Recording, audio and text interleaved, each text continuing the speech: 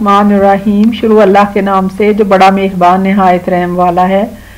تو پیارے بچوں، آج ہمارے سبق کا عنوان ہے سیاسی سیاسی جماعتوں کا کردار، کیونکہ جمہوریت عوام کی حکمرانی کو کہتے ہیں اور عوام اپنے سیاسی نمائندے چنتے ہیں، تو اس کے لیے سیاسی جماعتیں قائم کی جاتی ہیں۔ سیاسی جماعتیں جمہوریت کا اہم ستون ہے یہ عوام میں سیاسی سوجھ بوجھ پیدا کرتی ہیں۔ سیاسی جماعتیں عوام کے مسائل کو اپنے منشور کا حصہ بناتی ہیں۔ پارٹی مینیفیسٹو یا منشور جس میں اس کا پروگرام درج ذیل ہوتا ہے، اس کا مطلب ہے پاکستان کی بہتری کے لیے کام کرنا۔ اور اقتدار میں آ کر ان مسائل کو حل کرنے کی کوشش کرتی ہیں جو وہ اپنے منشور کا حصہ بناتی ہیں۔ تو آپ کو، میرے اور آپ کے دیکھنے کا سوال ہے کہ ہم جس سیاسی پارٹی کو ووٹ دیں، کیا وہ قائد اعظم کے فرمان کے مطابق یقین ہے، اللہ پہ یقین رکھتی ہے، نظم و ضبط ہے، اس میں بے لوس لگن کے ساتھ کام کرتی ہے، کیونکہ دنیا کی ایسی کوئی چیز نہیں جو ان تین چیزوں کی موجودگی میں حاصل نہ کی جا سکتی ہو۔ اور پارٹی میں بہت سارے لوگ ہوتے ہیں، تو کیا ان میں ایسے اوصاف ہیں کہ وہ پاکستان کے مسائل کا حل نکال سکتے ہیں؟ پھر آپ کو کسی پارٹی کے ووٹ دیتے ہوئے یہ بھی سوچنا چاہیے کہ کیا جو وہ باتیں کرتی ہے، جس کا وہ پرچار کرتی ہے، کیا اس کے اندر بھی حقیقی جمہوریت رائج ہے؟ کیا عہدیداروں کا انتخاب اہلیت کی بنیاد پر ہوتا ہے یا صرف اقربہ پروری اور برادری کو سامنے رکھا جاتا ہے؟ تو جب آپ ان چیزوں پہ کسی پارٹی کو پرکھیں گے تو آپ کو اندازہ ہو جائے گا کہ آپ نے کس کو ووٹ دینا ہے۔ اگر آپ کے اندر بھی یقین اللہ پہ یقین نہیں ہے، آپ بلوس خدمت نہیں کرتے اقربا پروری ہے، میرٹ کو پسند نہیں کرتے، قانون کی پاسداری نہیں کرتے، تو اگر آپ نے انتخاب نہ کیا صحیح پارٹی کا، تو پھر پاکستان کو آپ اس رستے پہ ڈال دیں گے جس میں سیدھے رستے کی طرف چلنا مشکل ہو جائے گا۔ تو اب ہم دیکھتے ہیں کہ شہریوں کے اہم حقوق کیا ہیں۔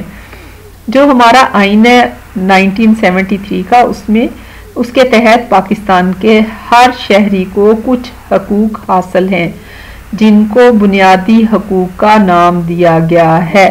یعنی ہمارے آئین میں یہ باتیں درج ہیں۔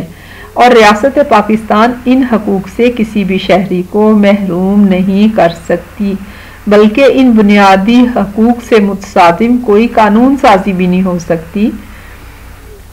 آئین آئین افراد کے حقوق کی حفاظت کرتا ہے اور ریاست ان کو پورا کرنے کی ذمہ دار ہوتی ہے۔ یعنی یہ ریاست کی ذمہ داری ہے کہ وہ ان حقوق کی حفاظت کرے جو آئین نے ایک شہری کو دیے ہیں۔ ان بنیادی حقوق میں سے کچھ درجے ذیل ہیں۔ سب سے پہلا حق جو ہے وہ ہے ہر شہری اپنے عقائد کے مطابق زندگی گزارنے کا حق رکھتا ہے۔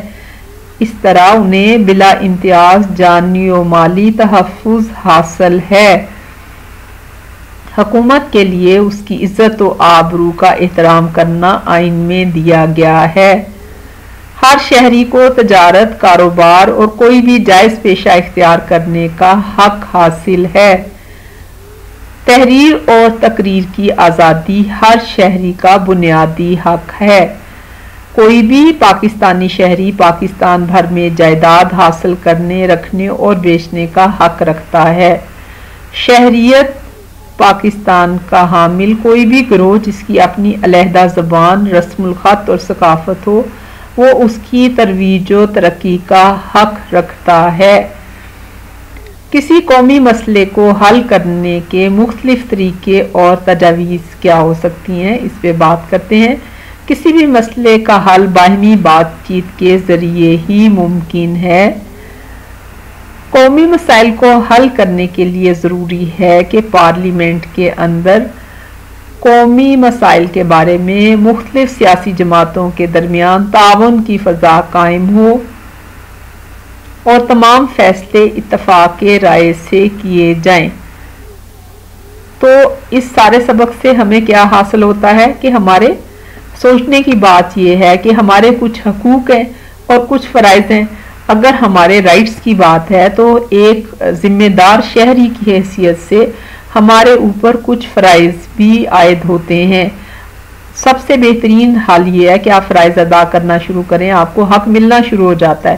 تو ایک نظر دیکھ لیتے ہیں کہ آپ کا حق ہے کہ آپ کو محفوظ ماحول فراہم کیا جائے۔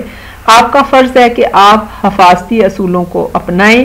آپ کو اپنی رائے دینے کی آزادی ہے، لیکن آپ کا فرض ہے کہ آپ دوسروں کی رائے کا احترام کریں۔ آپ کا حق ہے کہ آپ سرکاری اسکول کتابیں اور آلات استعمال کریں، لیکن آپ کا فرض ہے کہ ان چیزوں کی حفاظت کریں۔ آپ کا حق ہے کہ آپ کے ساتھ انصاف کیا جائے، لیکن آپ کا فرض ہے کہ آپ دوسروں کے ساتھ عدل کریں۔ آپ کا حق ہے کہ آپ کو اچھی تعلیم کے مواقع ملیں۔ آپ کا فرض ہے کہ دل و جان سے ملک کی خدمت کریں۔ تو پیارے بچوں امید ہے آپ کو یہ سبق پسند آیا ہوگا اس کو، لائک اور شیئر کرنا مت بھولیے گا۔